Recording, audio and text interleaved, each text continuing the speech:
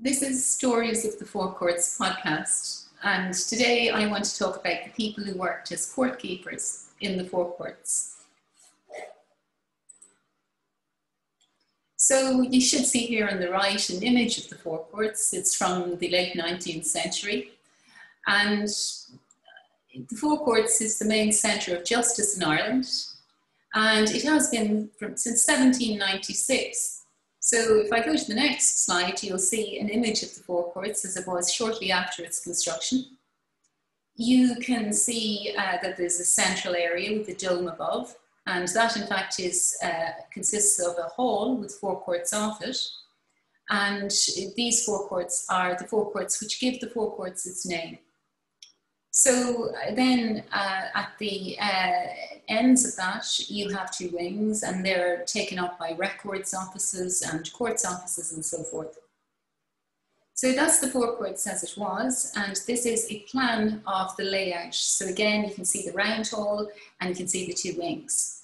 And the four courts I mentioned, which are off the round hall, are known as the courts of Chancery, King's Bench, uh, Common Pleas, and Exchequer. And you'd see it's quite a large uh, structure, and obviously it requires a lot of maintenance and cleaning. And there was, in fact, a housekeeping staff to deal with the offices in the western and eastern wings.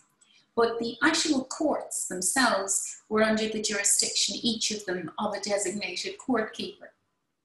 And uh, the court keeper was responsible for looking after these courts.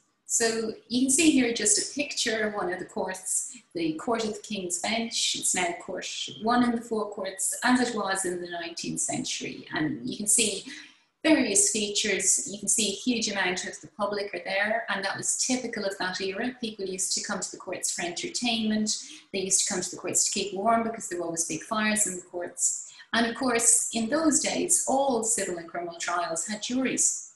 So you can see a jury box there and uh, you have a number of judges sitting on the bench, and that would be typical of, um, of that era as well. So court keeper quite a lot of work cleaning out the jury box and the public benches and the judge's bench at the end of the day, and also uh, had quite a lot of work cleaning the judge's chambers, which were located in the vicinity of the courts and were also under its jurisdiction. So there was a very close relationship between the court keeper of a particular court and the judges who were assigned to that court. Because once you were assigned as a judge to a particular court, you generally stayed there for most of your judicial office. Uh, so uh, one uh, court keeper wrote into the newspaper when she was uh, removed from her position in the mid 19th century and um, it's a little bit blurry, but this is the advertisement that she placed in the newspaper, and it complains about her removal from her position. And the interesting thing about it is, she says that this would never have occurred under the previous Lord Chief Justice, uh, Lord Norbury. She was removed as court keeper of the Common Pleas, and uh, Lord Norbury had been previously the Lord Chief Justice there. And she says that in the past, when uh, her rooms beneath the Court of Common Pleas were flooded, uh, Lord Norbury made his chamber above available to her and her family and also gave them some financial assistance. So I suppose what is interesting about this is it illustrates how the court keepers actually lived on the premises. So here's Lord Norbury, he looks quite scary, but he seems to have been very nice to his court keeper at any rate. And you can see his court there, and that's the ground floor. But what this doesn't show is the basement below. And it seems from this and there's also other evidence that the court keepers and their families actually lived in apartments below the courts to which they were assigned. So often the court keepers were widows and they might have their children living with them there as well. And whole families effectively lived in the, the basement area of the four courts, at least four families. So we don't think of the four courts as a place of children, and we don't think of it as a home, but that's what it was to these court keepers and their families throughout the 19th and early 20th century. And often the children in question, you know, they grew, grew up beside one another, so they tended to be very close. Uh, they were part of a unique group. But a tragedy occurred uh, in the early days of the four courts between two of these children. The um, son of the uh, court keeper of the Co- Court of Common Pleas and son of the court keeper of the Court of Exchequer. and they previously been great friends, but they fell out and they went up to Bully's Acre, which is beside the Royal Hospital Kilmainham. You can see it there. They went up there to have a fist fight. And the fist fight lasted 28 rounds, and one of the boys was killed. So that was awfully sad. Was sad because they were such a small community as well, that there was a killing within them. Um, and I suppose the other thing is, as I mentioned, the court keepers jobs tended to pass down through families. So if your father worked in the Four Courts, you had a good chance of getting a job there yourself as well. So this applied not just to the Four Courts itself, but also to the Sessions Court in Green Street, which was around the corner from the Four Courts. And um, there was a case there in uh, the 19th century, um, in the 1860s, when the court keeper of Green Street Courthouse was charged with having sold off court documents. Um, old paper was quite valuable in those days. It was used for industrial purposes. And he had taken the old records from Green Street Courthouse and he had sold them off and he was prosecuted for it. And at his trial, it was mentioned that his father had been court keeper of Green, Green Street before him and had been a very good court keeper. So this just illustrates how the hereditary nature of the, the, the, the employment in the four courts, how it tended to be passed down from family to family.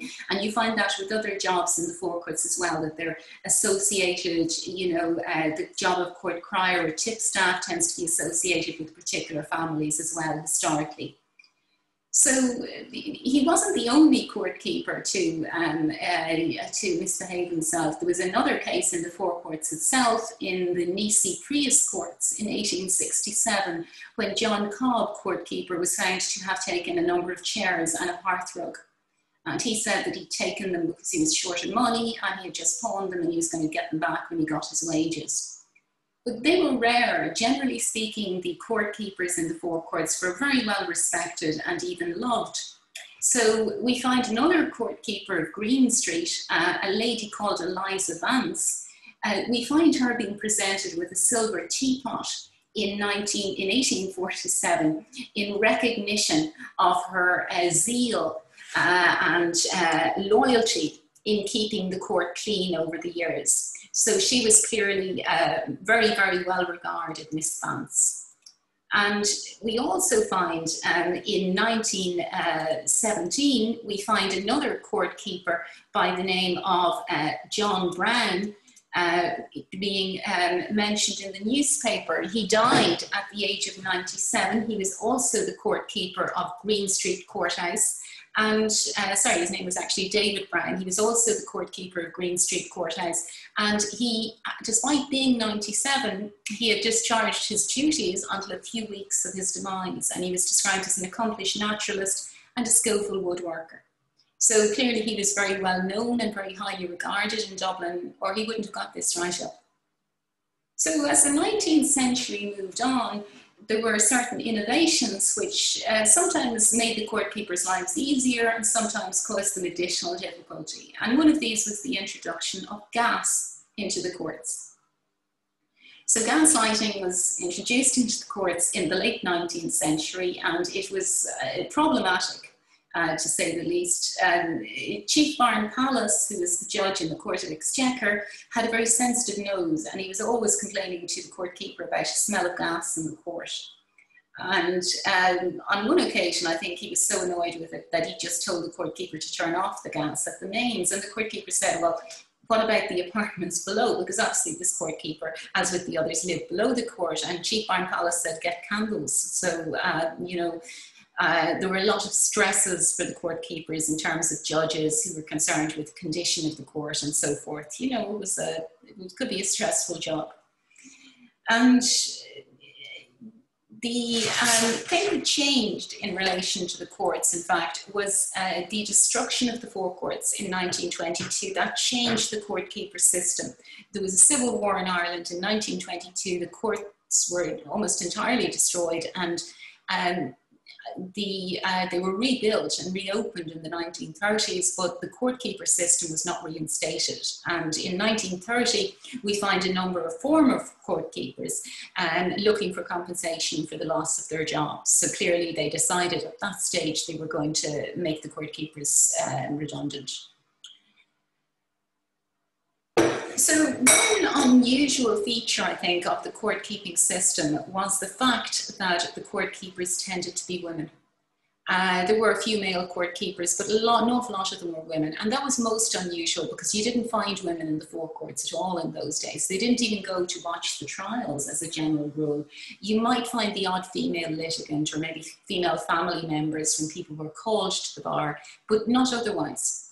So the journalists, also male, who reported what was going on in the courts were fascinated by these female court keepers, and sometimes they even wrote about them in the newspapers.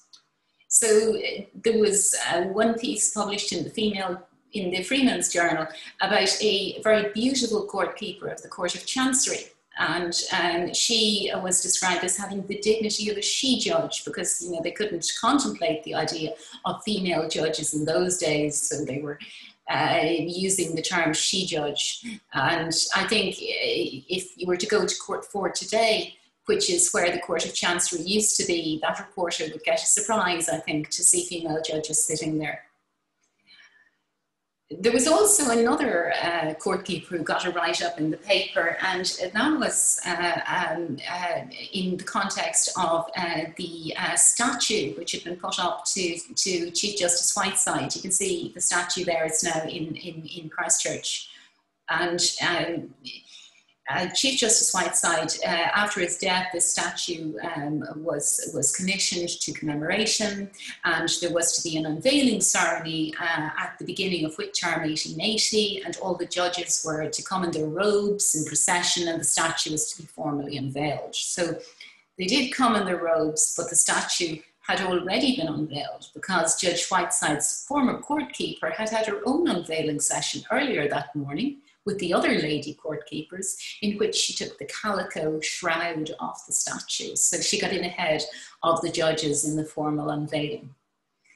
So uh, the Four Courts is still there today. You can see it uh, in much the same form, but uh, there are no court keepers. We do have a very good maintenance staff uh, who look after the courts, and their job has obviously been increased with COVID, so we should be very grateful for their hard work.